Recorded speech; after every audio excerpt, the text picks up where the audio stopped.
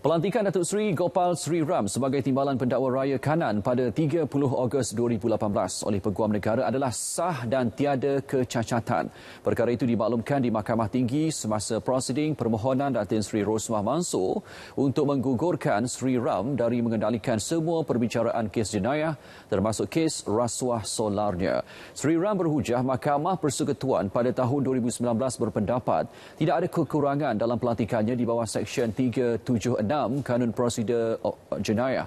Pelantikannya sebagai timbalan pendakwa raya oleh Peguam Negara sebelum ini, Tan Sri Tommy Thomas memberinya semua kuasa pendakwa raya.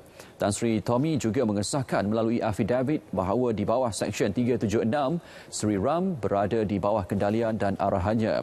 Dalam afidavit diajukan pada Mei lalu, Tan Sri Tony menyatakan pelantikan Sri Ram sebagai timbalan pendakwa raya kanan untuk menangani pendakwaan kes skandal 1MDB dan kes lain termasuk Datin Sri Rosmah atas tuduhan rasuah dan pengubahan wang haram. Sebagai alternatif, Sri Ram turut mengemukakan surat pelantikannya oleh Peguam Negara Tan Sri Idrus Harun bertarikh 21 Mei lalu dan menjelaskan kekurangan surat pelantikan sebelumnya. Keputusan permohonan rayuan ini ditetapkan pada 9 September hadapan.